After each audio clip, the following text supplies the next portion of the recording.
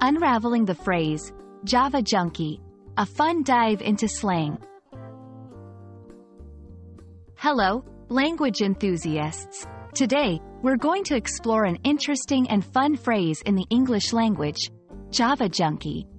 This phrase is a great example of how English often combines words to create new, colloquial meanings.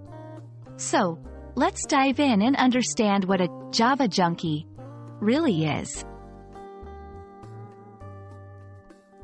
Java junkie is a slang term composed of two words, Java and junkie. To fully grasp the meaning, let's break down each word. Java is a slang term for coffee. It originates from the island of Java in Indonesia, known for its coffee production.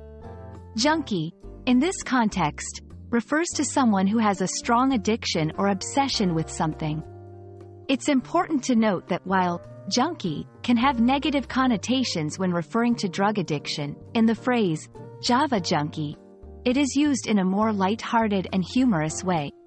So, a Java junkie is someone who is extremely fond of or addicted to coffee. Casual conversations.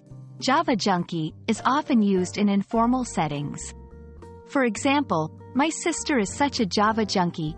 She can't start her day without a cup of espresso. Social media and blogs.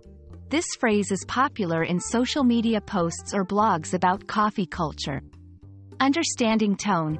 It's crucial to recognize the playful and humorous tone when using this phrase. It's not meant to be taken seriously or used in formal situations.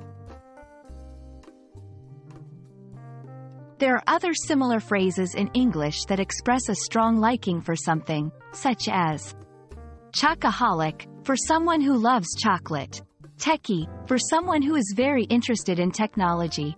These phrases, like Java junkie, combine a subject of interest with a suffix that implies addiction, but they are usually used in a fun and casual way. I hope you enjoyed this exploration of the phrase, Java junkie, and found it insightful. English is full of such creative and playful expressions, and understanding them can make learning the language even more enjoyable. Until next time, keep exploring and enjoying the rich tapestry of English slang.